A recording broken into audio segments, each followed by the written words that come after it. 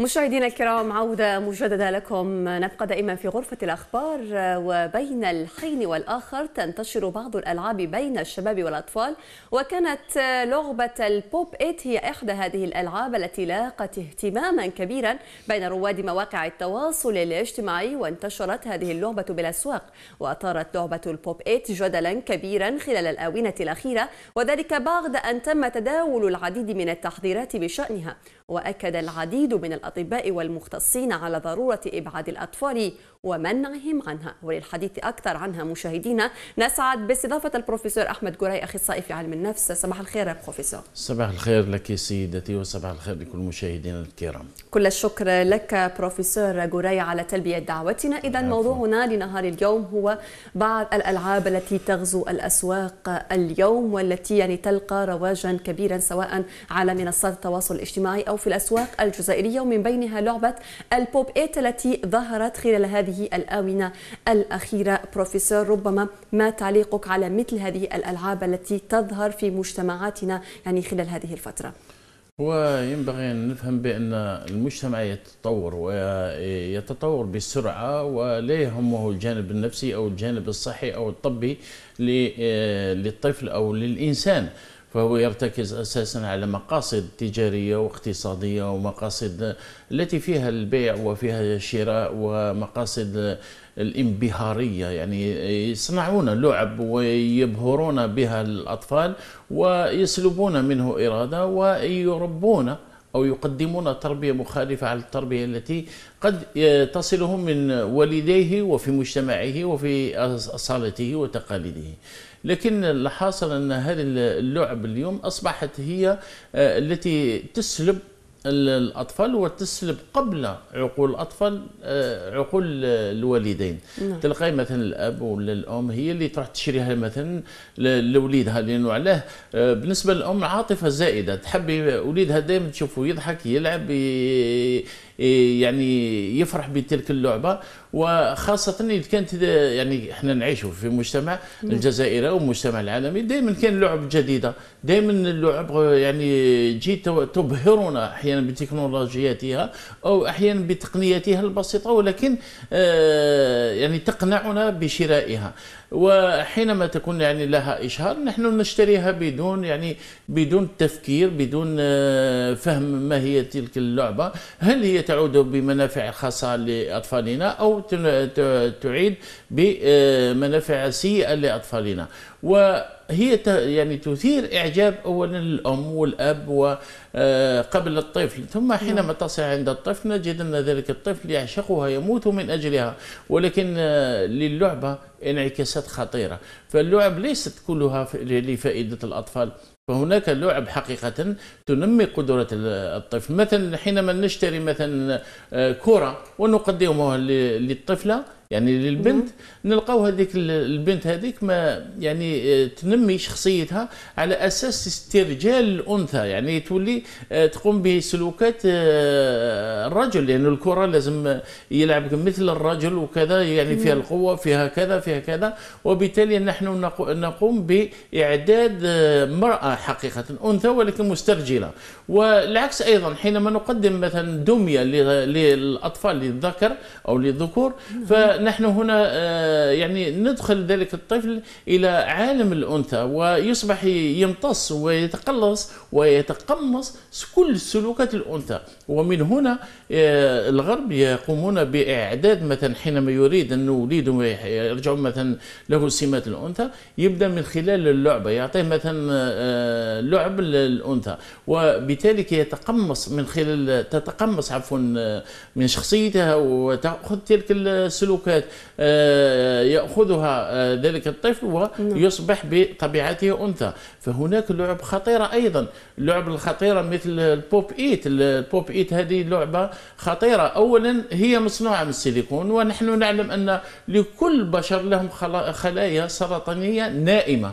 ويمكن أن يعني آه، يقوم الإنسان بإشعالها أقول بإشعالها لأنه الخلايا النائمة حينما يوقظها الإنسان من خلال ماذا؟ من خلال أشياء ملموسة أو من خلال الشم أو من خلال الأكل أو التغذية أو كذا تلك الخلايا مثل السيليكون فهي مادة أولا خطيرة على الأطفال فهي تثير يعني إيقاظ خلايا السرطانيه في الطفل النائمه هذا من جانب ومن جانب الآخر آه، هذه اللعبة هي التي آه، تجعل هذا الطفل يدخل في عالم آخر. نعم. يدخل في عالم التوحد مثلا. فعالم التوحد قبل أن يصل إليه لأنه التوحد مرض ويصيب الإنسان أو الطفل خاصة حينما يجمد عقله ويسلب منه شخصيته وتسلب منه سلوكاته ويصبح يتبع ما تقول له آه، تلك اللعبة من سلوكات ومن أفعال ومن تعامل بين بينه وبين اللعبة système نعم, machine. نعم وفي هذه النقطة بروفيسور غوريا ربما المشاهد يتساءل عن لعبة ال Pop It يعني كيف يمكن لها أن تسبب التوحد لهذا الطفل خاصة وأنها ربما لعبة بسيطة وليست فيها ربما أي تكنولوجيات متطورة. نعم نحن حينما نقدم اللعبة لأطفالنا نقدمها ب... نقدمها بمنظورين. إما نعطيوها له يعني نتكلم شوية بالعربية باش نعم. تفهمني الأمهات. إما نعطيو له تلك اللعبة هاك اللعبة هذه نشرك اللعبة هذه واسكت وريح في الدار وكذا كرشوه نعم. ليست.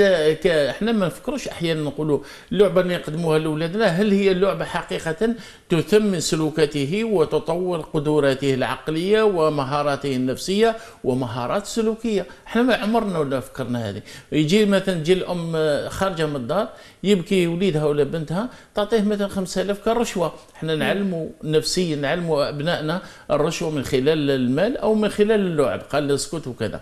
ولكن عدم التفكير فيما نقدمه لأبنائنا يعني قبل ما نشيروا اللعبة لا المفروض أن نفكروا.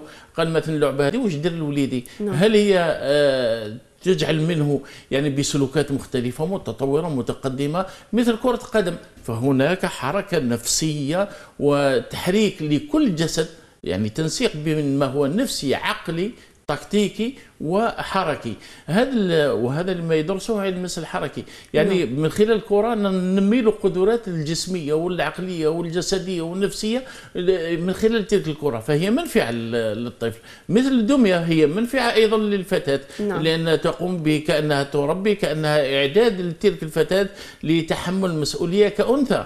ولكن حينما نقدم مثلا البوب ايت مثلا للأطفال ماذا يقدم؟ يقدم تصلب أو بما يسمى علق النفسي علق النفسي يبقى يتعلق بتلك اللعبة وتلك اللعبة آه، كأنه تجمد له عقله ولا تطور آه، قدراته العقلية ولا تتطور ممارساته السلوكية وأيضا هناك تجميد لعقله لا يفكر في أي آخر لأنه كلش موجود ولأنه. اللعبة تلك اللعبة تحمل كل أشياء من الألوان مختلفة التي تزهي العقل الطفل وتجعله أحيانا لا يفكر لأنه له كل شيء وبالتالي تلك اللعبة قد تثير إعجابه إلى درجة أنه لا يفكر في أي في أشياء أخرى. وأقول العلق النفسي هو مرض نفسي يعني حينما يصاب بالاكتئاب فهو اكتئاب مزمن ودائم ولا لا يشفى منه بسهولة أو ب يعني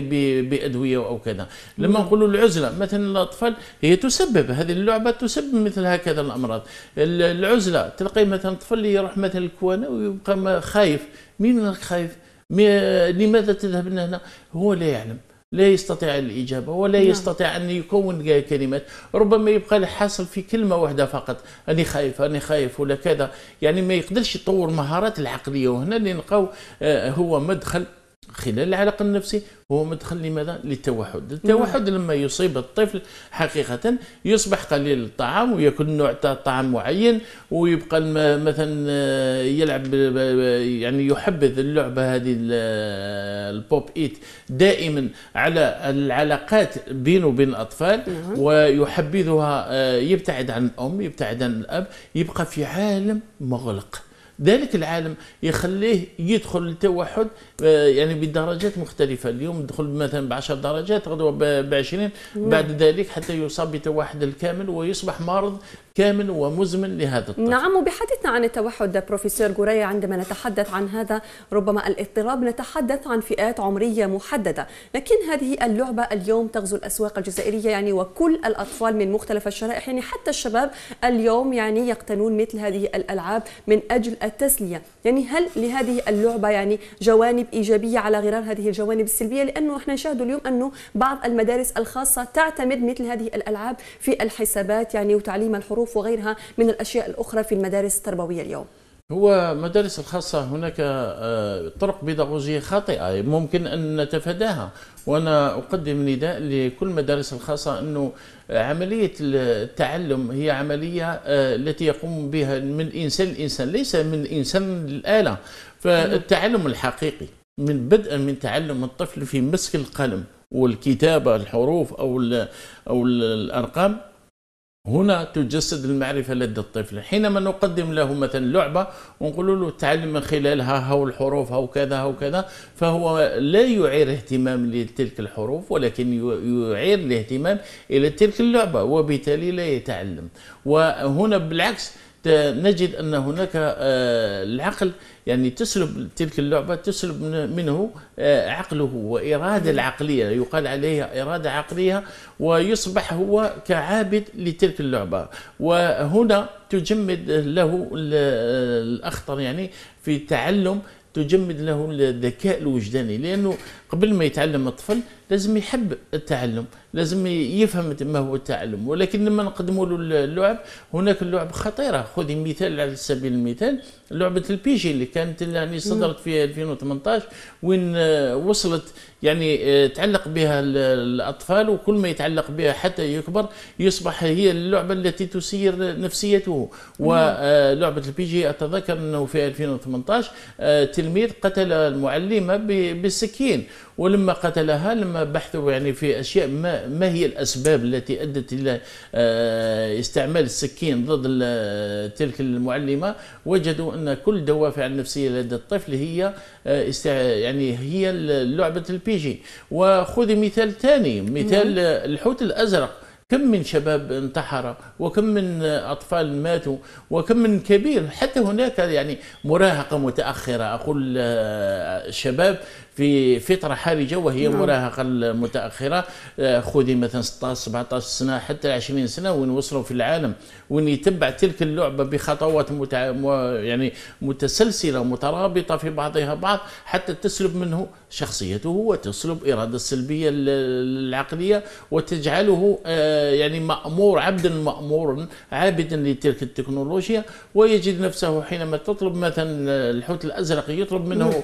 قال مثلا ينتحر مثلا بكذا بكذا أو أرمي روحك مثلا في أعلى مكان أو كذا ينتحر. آه، لماذا؟ لأنه فيه دافع نفسي داخلي هو الذي يحركه ويحرك نفسيته ويجعل منه عابدا لتلك اللعبة ونجد أن عدد كثير من منتحرين في الحوت الأزرق ليس في المجتمع العربي فقط ولكن نعم. حتى في روسيا حتى نعم. في أمريكا في كندا هناك آه، انتحارات كثيرة من جراء تلك اللعبة في اللعبة هناك اللعب كلها فهي كما نقولوا دوبل ترونش يعني لها ازدواجية العمل. الذي آه، توصله إلى إلى الذكاء الوجداني للطفل ربما التعلم ربما يصل إلى آه، مهارات الإجرامية ويتعلم العدوانية ويتعلم العنف أو يصاب بالتوحد وهذا المرض خطير أيضا نعم. أو أيضا يصاب بالوفاة المفاجئة وهي التي تجمد لأنه لما يتعامل مع الآلة الإنسان لما يتعامل مع الآلة وناخذ قياس الطفل يتعامل مع اللعبة نجد تلك اللعبة لها انعكاسات سلبية تجمد له قدرات السلوكية نعم. وبالتالي نجد أن هناك جلطات التي تقام يعني تصيب الطفل آه، أحيانا عدد الكثير من الأطفال آه، هي مسكوت من يعني عن الموضوع هذا هي التي تصاب عن الطفل لا يتحرك لأنه أنا قلت في الأول انه الكرة تحرك الطفل نعم. والذكر والدميه تحرك الأنثى بحركات نفسية جسمانية. نعم. وأيضا آه، هناك اللعب التي لا تترك التحرك للطفل مثل لعبة مثلا بوب بوب ايت نجد أنه تجمده يعني جسديا وعقليا ونفسيا ويتأثر تاثرا سلبيا ويصبح هذا الطفل مريض نفسيا. وتظهر هناك عدة أمراض في البداية حتى يصل إلى توحد أو وفاة. من جراء نعم. السكتة القلبية. نعم بروفيسور جوري يعني وهل نفهم من خلال هذا أنه وجب علينا اليوم يعني دق ناقوس الخطر من خلال هذه اللعبة التي غزت الأسواق الجزائرية اليوم وهي لعبة البوب 8 نعم ناقوس الخطر في هذه اللعبة آه، كبير جدا لأنه البوب 8 أو البي جي أو الحوت الأزرق هذا كله آه، كل هذه اللعب هي تسلب قدرات العقلية قبل قدرات النفسية ويصبح هذا الطفل يعني آه، عابدا متبع تابعا ولا يبتكر والطفل على بالك كأنه كما نقول un assisté بروفيسور لازم نقدموا لهم اللعب التي تحركه جسديا نعم. ويتعلم من خلالها وتكبر بعض المهارات النفسية من خلال ذلك تلك اللعبة.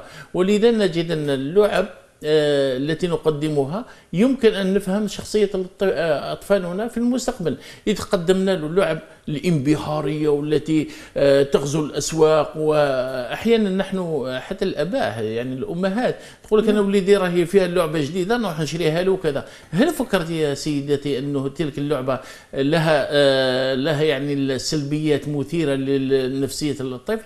هل فكرت ما يتعلم تلك اللعبة؟ نحن مبرمجون على شراء كل ما هو منبهر يعني كل نعم. آه، ما له الانبهارية النفسية. تنبهر الأم ثم تبهر ابنها. أبناؤها. لذا أنا أوصي كل الأمهات والسيدات الموجودات يعني اللواتي لهن أطفال لابد أن تفكري اللعبة اللي اللي تشريها لبنتك ولا لوليدك ماذا تستفيد منها تلك الطفلة أو ذلك الطفل نعم. حتى نفهم بأن اللعبة لما نجيبوها له حابين باش نزيدوا قدرات العقلية لأطفالنا نزيدوا مهارات نفسية لأطفالنا من خلال تلك اللعبة ولكن هناك لعب خطيرة جدا مثل هذا ال Pop It أو البي جي أو الحوت الأزرق أو نعم. اللعب ال Free Fire التي هي في متناول الآن كل شبابنا المراهق يعني يصبح ذلك الشاب لا يتحرك في عزلة في اكتئاب انظر يعني شوف العلاقة اللي موجودة بين الطفل الذي هو في طريق التعلم نعم. وبين الشاب الذي هو تعلم ولكن دخل إلى لعبة Free Fire التي آه، تصبح يصبح فيها الطفل أو ذلك الشاب 16 سنة 17 سنة نعم. تلقاه منعزل وتلقاه كأنه عابد كأنه عابد لتلك الآلة يصبح مدمن نعم. يعني على مثل مدمن عليها وذلك الادمان هو مرضي ليس ادمان عقلي. ما نقولوش مثلا راه يلعب Free Fire لأنه يعني يتعلم حاجات وكذا. هو يقتل في مراحل النفسيه التي آه، التي يعني تنمى في فترة الحرجة.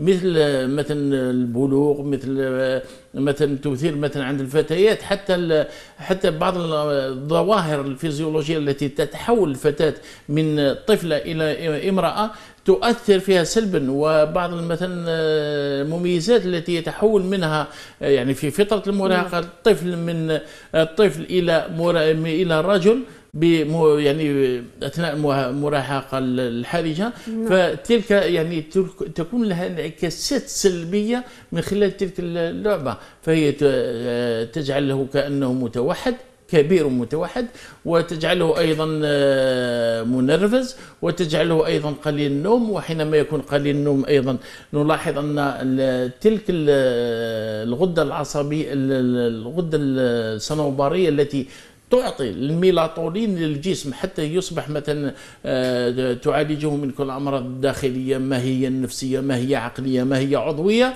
نجد أن تلك هو دائما يعني ليل ونهار مع ال Free Fire نعم. انعكاسات سلبية مرضية خطيرة على الجسم من المراهق نعم و... نعم نعم بروفيسور غوريا. نبقى دائما يعني في الحديث عن لعبة ال Pop It يعني في حال التعلق الشديد لهذا الطفل بمثل هذه اللعب يعني كيف يمكن للأولياء أن يخلصوا أبنائهم منها؟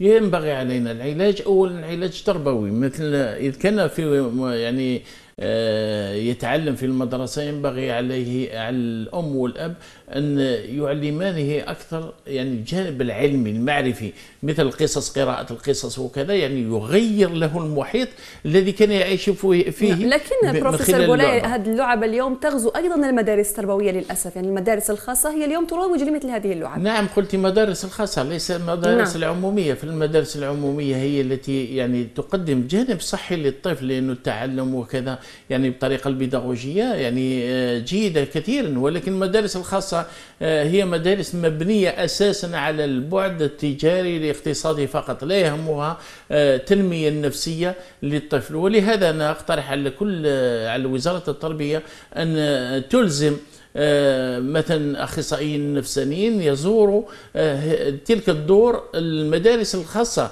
وحتى يرون ماذا يقام بها من خلال مثلا التعامل باللعب هناك لعب خطير على الأطفال لا ينبغي عليهم أن يعني يقدموها للأطفال فهم يقدمون طبعا تلك اللعب باش مثلا الطفل يولي يحب المدرسة الخاصة وما ما يتعلقش مثل المدرسة لو كان نديروا المقارنة يروح المدرسة الخاصة ما يروحش المدرسة نعم. العامة لأنه هو يتبع اللعبة هو الطفل في في حد ذاته لا يعرف ما ما يقوم به ولكن نحن نعرف ما تأثيرها تأثيراتها السلبية السلبية والمرضية النفسية والعقلية للطفل التي تسبب التوحد وتسبب أمراض خطيرة أيضا. نعم. هناك الاكتئاب الطفل لما يوقع في الاكتئاب خلاص ما يتعلمش. كي الطفل مثلا يوصل إلى العزلة أيضا ما يتعلمش. هذا راه مشروع فاشل. أنا نقدمه يعني نربيه في مشروع الطفل فاشل في المستقبل وتكون عنده انعكاسات ويكون عدواني. اليوم نتكلموا على حرب الشوارع وكذا. من جانا حرب الشوارع؟ لأنه الأطفال الصغار هم الذين تحولوا من خل اللعب إلى آه، ممارسة العنف والعدوانية في المجتمع. نعم. اذا ينبغي علينا علاج هذه الظاهرة بماذا؟ بابتعاد عن هذه اللعب الانبهارية التي تثير سلبا على آه، نفسية أطفالنا وتثير سلبا على قدرات عقلية لأطفالنا. ونحاول أن نقدم لعب التي تحرك الطفل مثل الكرة مثل نعم. اللعب مثل مثل هناك لعب تنمي قدرات العقلية تنمي قدرات النفسية وتثمن أيضا قدرات السلوكية وتجعل من هذا الطفل فيه آه، تعامل بين بين اللعبة وبينه ولكن بفائدة وليس نعم. بأمراض نفسية التي تصاب مثل مثل ال Pop It نعم إن شاء الله يعني نتمنى فعلا من الأولياء أنهم يعني يكونوا أخذوا بعين الاعتبار كل هذه النصائح المقدمة من طرفك البروفيسور أحمد قري أخصائي في علم النفس. كل الشكر لك على حضورك معنا سيدي شكرا سيدتي وبارك الله فيكم مثل مواضيع هذه تخدم الأطفال كثيرا. شكرا لك. اذا مشاهدينا إلى هنا نكون. قد وصلنا